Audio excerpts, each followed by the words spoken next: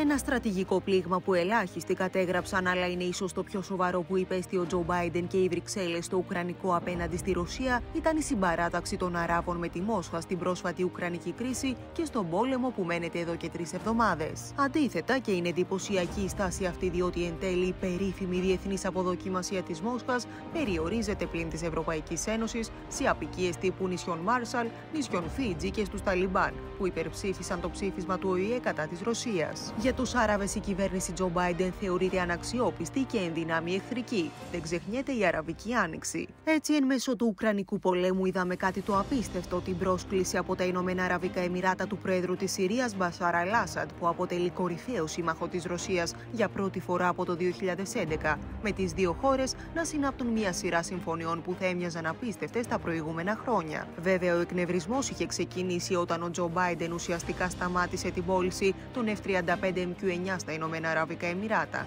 μιας πώλησης που είχε ολοκληρωθεί επί Ντόναλτ Τραμπ. Η Σαουδική Αραβία και άλλα κράτη του κόλπου αντιστάθηκαν επίσης στην πίεση των Ηνωμένων Πολιτειών να αντλήσουν περισσότερο πετρέλαιο για να αντισταθμίσουν την απαγόρευση των Ηνωμένων Πολιτειών στις εισαγωγές ρωσικού πετρελαίου.